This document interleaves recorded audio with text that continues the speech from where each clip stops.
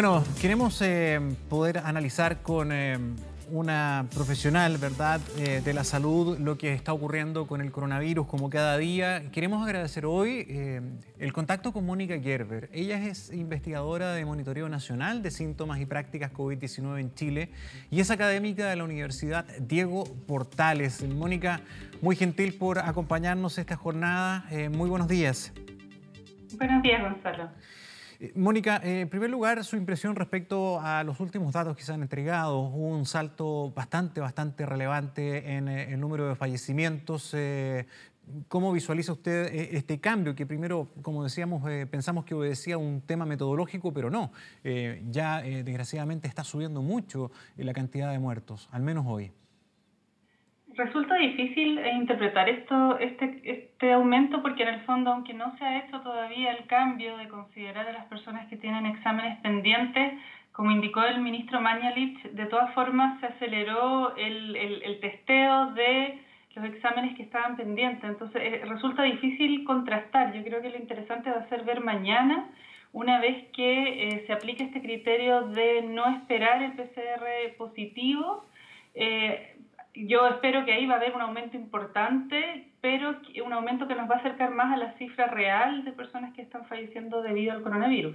Claro, y, desde ese punto de vista hemos tenido eh, cambios eh, a lo largo desde que se inicia la pandemia en eh, una serie de criterios. ayer ya se habían anticipado varios, por lo menos tres, y sobre todo el tema de la contabilización de fallecidos.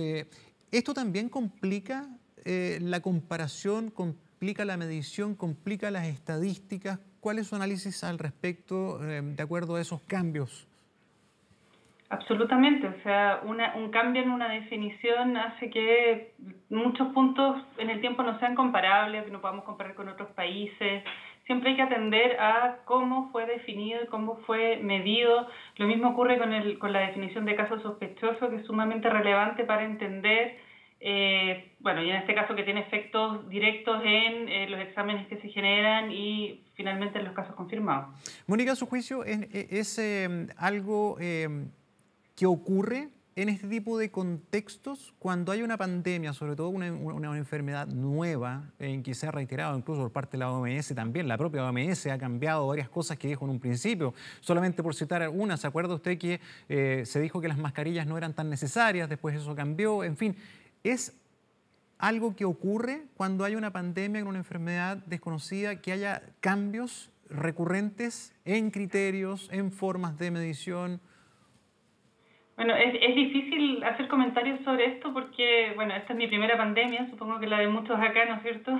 Pero de todas formas es importante entender que, bueno, todo lo que son las estadísticas sociales se van construyendo y modificando y generan resultados sumamente relevantes a la hora de las conclusiones que se sacan. Muchas veces la estadística o las mediciones son también bien políticas, que se define como, eh, un, por ejemplo, el tema de, de, las muertes ha sido un gran debate internacionalmente sobre qué es una muerte por COVID y eso hace diferencias en las comparaciones de qué también le va a los países. Entonces también hay que entender que muchas veces hay intereses creados de por medio o ciertos mensajes que se quieren dar con ciertas estadísticas. De todas formas es relevante. Sí. Mónica, yendo a cómo se aborda el momento en el que estamos eh, entrando, lo, dicen varios profesionales. En primer lugar, ¿qué, opinión tiene usted con respecto al sexto informe de la Universidad de Chile de Salud Pública, que hace una proyección eh, en varios sentidos, pero dice que el ritmo que tenemos hoy día en términos de nuevos casos, en términos también de personas que desgraciadamente están falleciendo, debería mantenerse en, todo el mes de junio. Eh, ¿Usted coincide con eso? Eh, ¿Estamos en una etapa?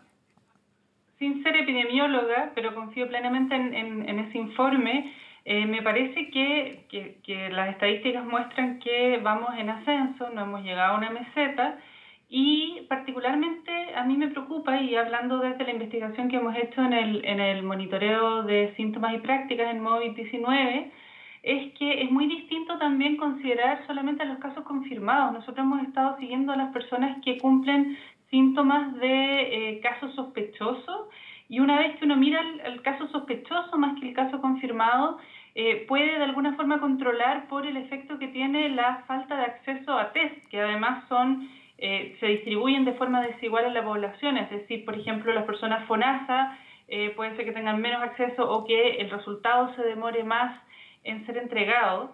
Entonces, el problema de esto es que finalmente eh, no estamos viendo los casos sospechosos y está la posibilidad de una, una bomba oculta, de alguna forma, de casos eh, que no aparecen en el radar del sistema de salud. Nosotros, por ejemplo, vimos que en las últimas seis semanas, porque tenemos datos semanales en las últimas seis semanas, eh, el, porcentaje de casos sospechosos es mucho más alto en comunas con mayor hacinamiento, que son probablemente las comunas que tienen también menos acceso a testeo y que aparecen menos como casos confirmados, pero que al mismo tiempo tienen más dificultades de aislarse, de hacer cuarentena. Entonces, esas brechas sociales finalmente son sumamente relevantes de ser consideradas para la gestión de la crisis. Mónica, eh, y quiero ir un poquito más allá en lo que usted está poniendo sobre la mesa, me parece un punto crucial, porque eh, ayer, bueno, desde el fin de semana que ya está habiendo una insistencia bastante suculenta del mundo académico y de los expertos como usted, en que tal vez una, una etapa que hay que reforzar sí o sí es el testeo, aislamiento y trazabilidad. ¿no? Eh, pero claro, usted plantea la dificultad del de, eh, acceso desigual al test eh, entre el sistema público y privado o entre regiones y, Santiago o dentro de Santiago, entre las mismas comunas, hay diferencia de oferta de testeo bastante importante. Pero no solo eso, independiente si usted es FONASA o es ISAPRE, y conozco varios casos, cuando usted va a hacerse un test, por ejemplo, una persona asintomática, pero que tuvo un contacto estrecho.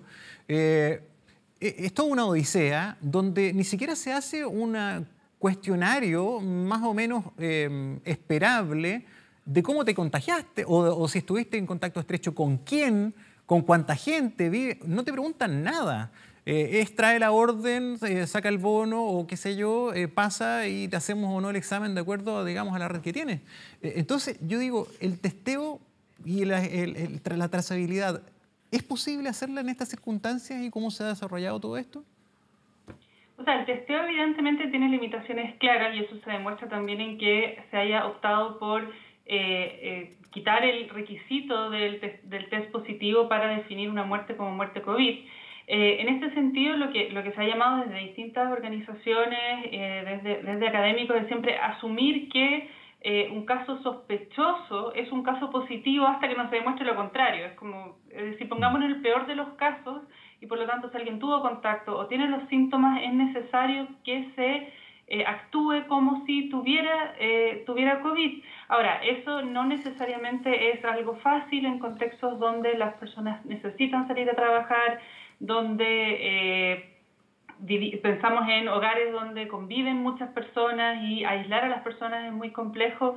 Por eso es tan importante entender que esta crisis no es solamente una crisis sanitaria, es una crisis social, económica, donde para esto que tú mencionas del testeo, la trazabilidad, que son obviamente lo, lo, básico, lo mínimo que se ha recomendado desde distintos sectores, eh, que es la forma de prevenir más que llegar al punto de, la hospitalización, ¿no es cierto?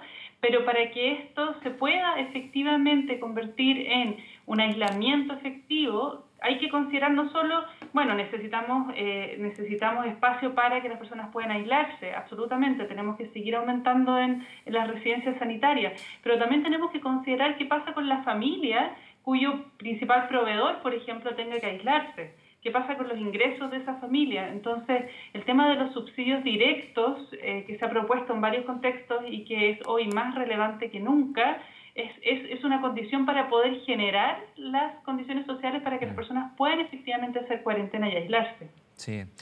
Bueno, eh, claramente hay una discusión también de mm, la gran dificultad que hay al administrar esta crisis, porque como usted bien señala, es multidimensional, donde la prioridad, por cierto, es la salud y la vida de las personas, pero también se concatena y se enfrenta cara a cara con una realidad económica social que, que, es muy relevante también, por lo que usted decía, por la real posibilidad de poder echar a andar y hacer efectiva una cuarentena, por dar solo un ejemplo, eh, entre muchas otras cosas tal vez más relevantes.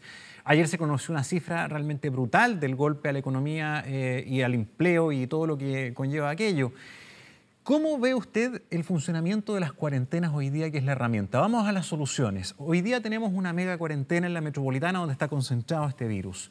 Probablemente el miércoles se van a tomar decisiones al respecto. ¿Están funcionando o no están funcionando? ¿Están surtiendo efecto o no? ¿O hay que reevaluarlas, al menos en su modo? Las cuarentenas funcionan siempre y cuando podamos dar las oportunidades de que las personas no vean afectados sus medios de subsistencia por tener que hacer cuarentena. Entonces, las cuarentenas funcionan. Nosotros en, en Móvil 19, 19 hemos estado haciendo estos análisis, todavía no los hemos publicado, pero básicamente que las cuarentenas funcionan en ciertos contextos y en otros no. En contextos donde las personas trabajan de manera profesional, pueden hacer auto, eh, pueden hacer teletrabajo, pueden eh, solicitar despacho de comida a sus, a sus hogares. La cuarentena es, es, más bien un problema, pero no es, no es algo crítico. Pero Mónica, las... perdón, perdón la interrupción. O sea, eh, tomándose esa, esa idea, las cuarentenas entonces, para hacerlo súper simple, funcionaron y han funcionado bien en los sectores más acomodados, en los que tienen esas posibilidades. Pero ¿qué pasa para la inmensa mayoría, en este caso de la metropolitana? Eh, ¿No están funcionando definitivamente? Yo diría que no, por lo menos, bueno, habría que, habría que analizar los datos para ver hasta qué medida, pero de que funcionan menos, funcionan menos.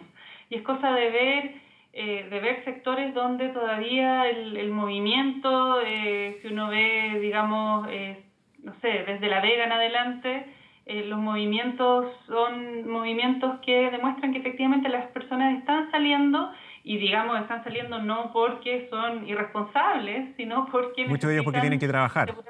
Mónica, y desde ese punto de vista, ¿qué se puede hacer? ¿Cómo lo ven ustedes eh, dentro de los estudios que hacen, dentro del análisis que hacen? ¿Qué se puede hacer? Porque no, no, nos podemos encoger de brazos. Entonces tenemos una inmensa mayoría de la región que está en un alto, alto riesgo.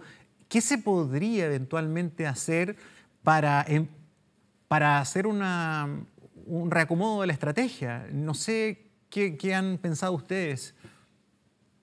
Mira, lo, lo, primero es, lo primero y lo primordial es generar las eh, posibilidades para que las personas hagan cuarentena, para que puedan aislarse. El, el, el, tema de las residencias sanitarias es un primer paso sumamente relevante porque en muchos contextos las personas no pueden aislarse en sus hogares porque no tienen una pieza separada para, para cuidarse mientras el resto de la familia sigue funcionando.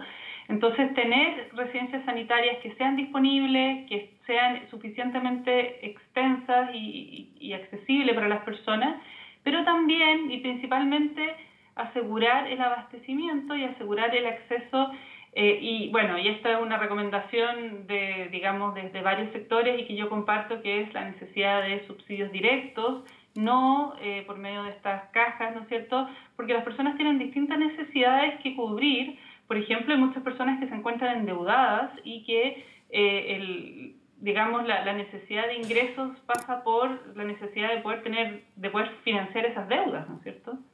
Desde ese punto de vista, eh, se están analizando por varios carriles todas estas, estas situaciones. Eh, de hecho, se está construyendo un pacto, al menos, ¿verdad?, transversal eh, para, para moverse hacia ese tipo de soluciones y con un plazo largo, porque desde el mundo científico también señalan que esto va a ser por lo menos de un horizonte de un año, un año y medio, por lo menos. Pero mientras tanto, porque eso es más de mediano plazo, mientras tanto, ¿cree usted que fundamentalmente el acierto, porque se está haciendo. Ayer eran 90 residencias, hoy día son 92. ¿Uno de los aciertos de lo que se está haciendo en cambio de estrategia es potenciar las residencias? Absolutamente, es, es, es un criterio absolutamente necesario, pero como decía, mientras no vaya de la mano de la posibilidad de eh, que las personas puedan acceder a los test, eh, acceder a eh, medios de subsistencia, no vamos a poder priorizar que las personas se mantengan en casa. Eso no, no puede ser solamente el tema de las, de las residencias, sino se atiende al contexto social también para que las personas puedan quedarse en sus casas. Mónica Gerber, muchísimas gracias por acompañarnos esta mañana en el Canal 24.